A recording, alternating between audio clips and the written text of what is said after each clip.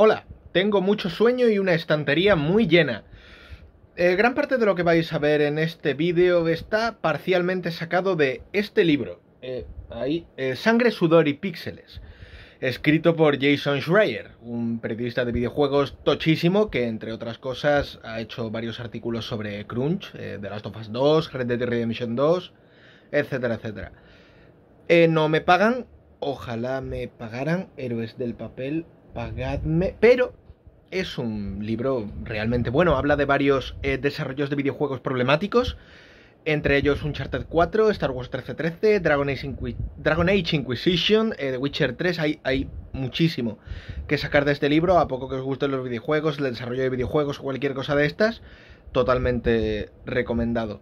Y bueno, vayamos a, al turrón. La franquicia Star Wars se encuentra en un momento especialmente dulce. Tras la trilogía de secuelas, que polémicas aparte funcionó genial en taquilla y revitalizó la franquicia a partir de 2015, la saga espacial ha ido acumulando bangers, desde series de imagen real como The Mandalorian hasta animación como The Bad Batch, pasando por novelas como La Alta República y por supuesto en lo respectivo a sus videojuegos. Si bien el resurgir de Battlefront no salió todo lo bien que se esperaba, Respawn Entertainment llevó a la franquicia al mismísimo cielo con Jedi Fallen Order, que mezclaba influencias de videojuegos Souls-like, hack and slash y aventuras de acción para crear uno de los juegos más memorables de los últimos años, sobre todo si eres fan de la franquicia. Y ahora tenemos su secuela, que apunta a mejorar y ampliar prácticamente todos los elementos de su predecesor, pero esto no siempre fue así. En 2009, LucasArts, la empresa de videojuegos creada por George Lucas, se estaba enfrentando al infernal desarrollo de El Poder de la Fuerza 2, y el fracaso que este juego sufrió afectó a la compañía. Además, llevaban desde el año 2000 cambiando de presidente cada poco tiempo, lo cual suponía despidos y cancelaciones de proyectos, algo que afectaba a la moral de los trabajadores. Pero un pequeño grupo estaba trabajando en un videojuego muy interesante, llamado Star Wars Underworld. Underworld iba a ser una serie de televisión de Star Wars ambientada en Coruscant, que, siguiendo la historia de los criminales y cazarrecompensas de la zona, huiría del estilo infantil y los muñecos CGI para ofrecer una experiencia adulta cruda y violenta. Y a su vez, se estaba desarrollando un videojuego basado en el mismo concepto. Tras barajar géneros como el rol o el mundo abierto estilo GTA, acabaron llegando a un esquema jugable similar al de Gears of War, que posteriormente cambiaría hacia un estilo más Uncharted, con sus set pieces y algo de plataformeo. La labor de desarrollo del juego fue realmente complicada, ya que las conexiones con Underworld provocaban que, a veces, a George Lucas le diera por decir, pues se me ha ocurrido que metáis a este personaje de la serie.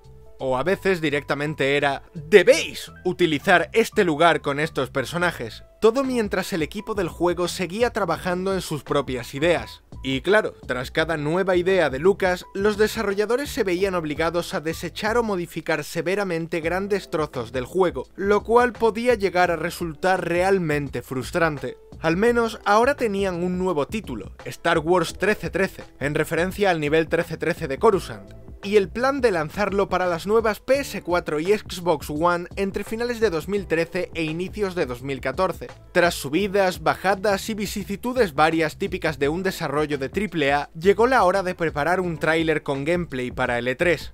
Y madre mía, qué tráiler.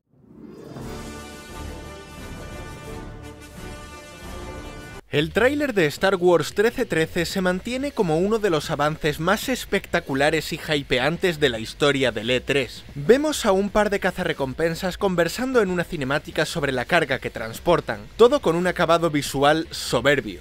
Lógico, teniendo en cuenta que para el apartado gráfico de este juego, LucasArts contó con la ayuda de Industrial Light and Magic, empresa de efectos visuales y CGI creada por el propio George Lucas, responsable de los efectos visuales de titanes como The Avengers o la propia saga Star Wars. Tras un par de minutos de diálogo, la nave en la que se encuentran los protagonistas es asaltada y comienza la acción, con unos tiroteos con blasters muy reminiscentes a los clásicos third-person shooters estilo Gears of War, y un cuerpo a cuerpo que recuerda inevitablemente a la saga Uncharted, incluso con ese toque que incluyeron en Uncharted 4 de que tu compañero cogiera a un enemigo para que tú lo remataras. Para terminar de rematar las vibes a lo Naughty Dog, la nave estalla de forma espectacular, y debemos escalar entre los restos mientras las explosiones decoran el ambiente. Quizá a día de hoy puede resultar un tanto repetitivo, tras tantos videojuegos que tratan de seguir la estela de aventura de acción bombástica de Uncharted y posteriormente de Last of Us, pero para la época esto era una burrada.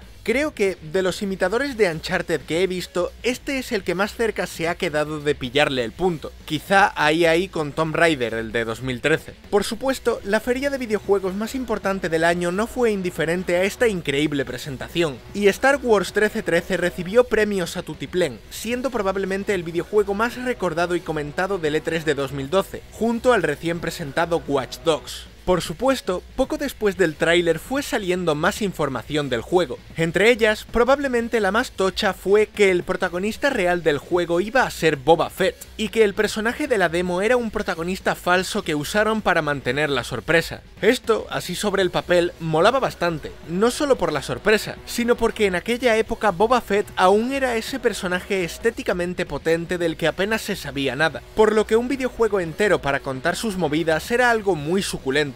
Pero resulta ser que todo esto era mentira. No lo de Boba Fett, ojo. La idea de George Lucas era que Star Wars 1313 estuviera protagonizado por el cazarrecompensas mandaloriano, pero esa idea se le ocurrió a Lucas en abril de 2012, apenas dos meses antes de presentar el videojuego en el E3, y en ese momento toda la historia del videojuego ya estaba escrita en torno al personaje que vemos en la demo. No es que ese personaje fuera falso, sino que pertenecía a una versión anterior del juego que, debido a los designios majaderos de Lucas, debía ser desechada por completo. Es tanto una tremenda putada para los desarrolladores como una tremenda curiosidad como información, porque yo he crecido pensando que simplemente querían mantener la sorpresa y resulta que había mucho más detrás. Y cuando parecía que estábamos ante todo un hito de los videojuegos, a un año y medio de su lanzamiento, llegó el puto ratón.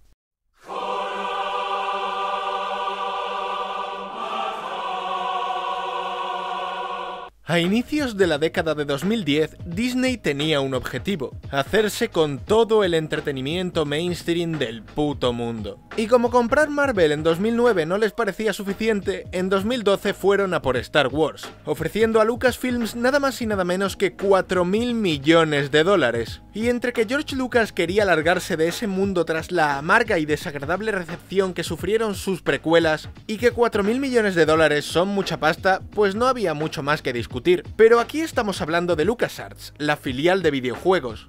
¿Qué pasó con LucasArts? Si bien en principio se dijo que nada cambiaría, esto era una vil mentira. En una conferencia dada por Bob Iger, director ejecutivo de Disney, este anunció que estaban estudiando ceder el desarrollo de videojuegos de Star Wars a otras compañías, además de centrarse más en videojuegos de móvil. Obviamente, teniendo dos juegos para consola en desarrollo, esto dejó muy en la mierda a las buenas gentes de LucasArts, que temían por el destino de su juego. Algunos, de hecho, se vieron venir lo peor y se marcharon de la compañía, como por ejemplo Fred Marcus, director de LucasArts que se marchó poco después de la venta de Disney. Y si bien los empleados que quedaban siguieron trabajando, los pronósticos no daban pie a mucho optimismo. A inicios de 2013, Disney cerró Junction Point, el estudio responsable de ambos videojuegos de Epic Mickey, esos extraños videojuegos en los que Mickey Mouse, armado con un pincel, debía enfrentarse a bichos y tomar decisiones morales. Este cierre se debía a que Epic Mickey 2 había sido un fracaso. Y claro, si un videojuego lanzado para consolas había fracasado estrepitosamente, la opinión de los capullos de traje y corbata sobre los videojuegos lanzados para consola de sobremesa iba a verse bastante mermada, y entre rumores sobre una posible venta de LucasArts a Electronic Arts y tensiones varias, llegó el final. En abril de 2013, Disney cerró LucasArts, dejando a más de 150 empleados en la calle y mandando sus proyectos al abismo. Pero aún quedaba una última esperanza. Un alto ejecutivo de Electronic Arts llamado Frank Gibault organizó una reunión para intentar salvar Star Wars 1313. Gibault pidió a Lucas que organizaran un pequeño grupo para una reunión, en la que hablarían con los altos cargos de Visceral Games para contarles el concepto y estado del juego. Si todo iba bien, el videojuego se salvaría o al menos eso decía Gibault. Tras una presentación larga y llena de esfuerzo, la respuesta que recibió el estudio fue sencilla. No sé qué os han dicho, pero lo que va a pasar a continuación no es lo que esperáis. no vamos a salvar vuestro juego. Simplemente, si nos gusta vuestro trabajo, os contrataremos en Visceral para un nuevo proyecto. Esto rompió por completo a lo que quedaba de LucasArts. Muchos se marcharon a otros estudios, pero ninguno de ellos dudó ni por un momento de la calidad de Star Wars 1313. Tras todo esto, el director creativo de LucasArts, Dominic Robiliard, mandó un correo electrónico a toda la gente de LucasArts. Este correo decía lo siguiente. Esperaba poder dirigirme a vosotros cara a cara como de costumbre, pero parece que cada uno ya se ha ido por su camino, y las posibilidades de que volvamos a reunirnos todos son escasas. Quizás sea lo mejor, porque no estoy seguro de poder deciros todo lo que me gustaría sin perder la compostura. Cuando pienso en los últimos dos años en los que hicimos el juego, no puedo creer lo que logramos en las circunstancias por las que tuvimos que pasar. Es verdaderamente impresionante. Redirecciones, interferencias, liderazgo y dirección inestables. A veces no puedo creer que os quedarais conmigo, y sobre todo que siguierais ofreciendo una calidad de trabajo tan increíblemente alta. No sabéis lo orgulloso que estoy de cada uno de los desarrolladores de este equipo. Estaré en deuda con vosotros durante el resto de mi trayectoria. Tengo muchas más cosas que decir y tantos agradecimientos que mostraros, pero ahora mismo es difícil expresarlo. Sinceramente, aprecio a cada una de las personas de este equipo y espero ansiosamente que volvamos a trabajar juntos algún día. Hasta entonces, dedicaré todo mi tiempo y energía en los próximos meses a asegurarme de que cualquiera que esté pensando en contratar a un miembro del equipo de Star Wars 1313 sepa que están haciendo una gran inversión y tomando la decisión más inteligente de su carrera. Sois el mejor equipo que he conocido y os quiero a todos. Esto es horrible. Todo esto es horrible. Tienes a un gran grupo de personas trabajando en un proyecto que no solo les apasiona, sino que tiene tan buena pinta que, al mostrarlo al público, todo el mundo se queda flipando con el resultado. Todo mientras debes soportar las veleidades de gente con más poder que tú. Pero sigues y lo haces y aún así de un momento a otro todo se acaba, debido a las decisiones que han tomado otras personas con más poder que tú. La labor creativa bajo una industria capitalista se resume en esto, personas con ganas y talento siendo aplastadas por personas con poder y dinero, artistas que valen oro aplastados por empresarios que no valen nada, y así será hasta que algo cambie. Hasta entonces, tocará seguir atascado en la maquinaria del hype y el marketing, consumiendo lo que te digan que consumas y tragando todo lo que te tengas que tragar. ¿Sabéis lo mejor? que ese nuevo proyecto en el que Visceral Games iba a trabajar acabó siendo otro videojuego narrativo de Star Wars, donde incluso trabajaría Amy Hennig, responsable de la trilogía de Uncharted, uno que nunca llegó a salir, porque Electronic Arts cerró Visceral Games en 2015 tras el fracaso de Battlefield Hardline, un videojuego encargado a Visceral surgido de la necesidad de Electronic Arts de repetir el éxito de Call of Duty. En abril de 2022 salió la noticia de que Amy Hennig estaba trabajando en otro videojuego de Star Wars. Sí, por supuesto.